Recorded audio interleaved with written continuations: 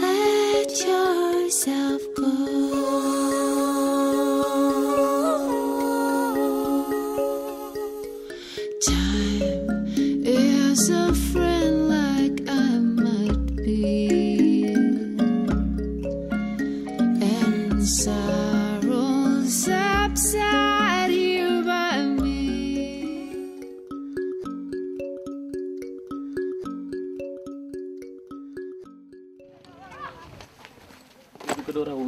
Lafaik, das Krokodil, ist das einzige Magazin Osttimors und seine Zielgruppe geht weit über die der Schüler hinaus.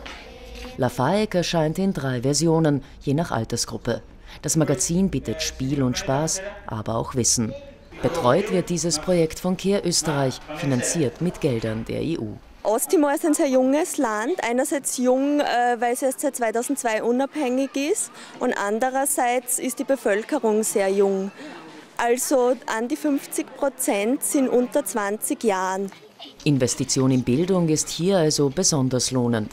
Nach portugiesischer Kolonialzeit und indonesischer Besatzung gibt es in Osttimor keine demokratische Tradition. During Indonesian time and during the Portuguese time, we didn't. I mean, our ancestors they didn't have a lot of chance as we have now to discover about their own history, their own country, their own political system their own geographical area, their own economy, everything. It's, uh, they didn't have chance. Über die Kinder soll Demokratie gelehrt werden. Wenn sich das Lafaik-Team zusammensetzt, geht es also immer um den richtigen Mix. In der nächsten Ausgabe will man das demokratische System des Landes erklären. An dieser Schule in der Hauptstadt Dili kann man sehen, warum das doppelt wichtig ist. Der Direktor sammelt die alten Lafayette-Ausgaben. In Ermangelung an Schulbüchern sind sie das einzige Unterrichtsmittel, das er zur Verfügung hat. Die Herausgeber des Blattes haben das längst erkannt. Das vierte Heft ist eines, das den Lehrern beibringt, wie sie mit den Ausgaben arbeiten sollen. Lafayette ist Unterhaltung und Schulbuch in einem. Ein Teil des Blattes ist für Brieffreundschaften zwischen dem Osten und dem Westen reserviert. Denn sehr oft wird, was man hier vermitteln will, von der Realität überholt werden gestern wichtige Personen zum Teil der Geschichte.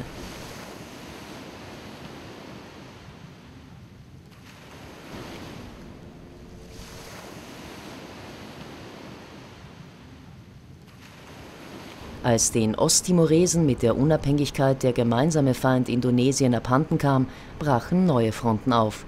Die Menschen des Ostteils fühlten sich als Elite, jene des Westteils ungerecht behandelt. Armee und Polizei gingen aufeinander los, innerhalb der Armee bildeten sich verschiedene Lager. Osttimor ist heute ein Land mit UN-Armee unter australischer Führung, UN-Polizei unter portugiesischer Führung, mit dem US-Dollar als Währung und einer Landessprache, die noch gar nicht kodifiziert ist. Eine gescheiterte Demokratie? In der Vergangenheit gab es eine große Motivation, das Land zusammenzuhalten, die Unabhängigkeit von Indonesien. Danach ist alles zusammengebrochen. Dazu kommt, dass es hier kein Kommunikationssystem gibt. Hier werden immer noch Gerüchte verbreitet, wie zu Zeiten Indonesiens. Uh,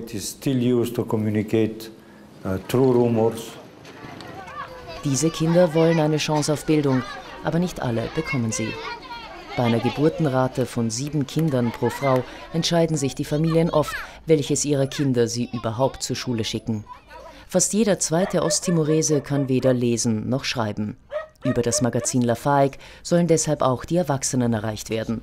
But it depends on information given by the teacher to the kids. Maybe the kids can sometimes tell to the like in rural areas, they can tell their parents what happened in regarding to civic education regarding the government. Lafaik ist zweisprachig. Neben der Landessprache Tetun lernen die Kinder auch Portugiesisch, wobei Tetun noch gar keine richtige Schriftsprache ist.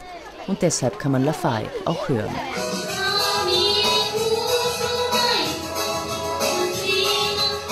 In einem Ministudio werden die Inhalte der Hefte zu 30-minütigen Sendungen zusammengefasst. Diese Sendungen werden von 13 Stationen im Land ausgestrahlt. Für die Mitwirkenden ist das die Hoffnung auf eine Berufskarriere. Thema der heutigen Sendung sind Kinderrechte.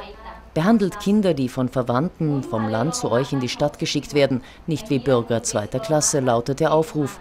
In einem konservativen Land kann es ein ziemlicher Kulturschock sein, wenn Kinder plötzlich auf ihre Rechte pochen. Aber ihnen gehört die Zukunft, auch wenn die Erwachsenen immer noch damit beschäftigt sind, diese zu zerstören.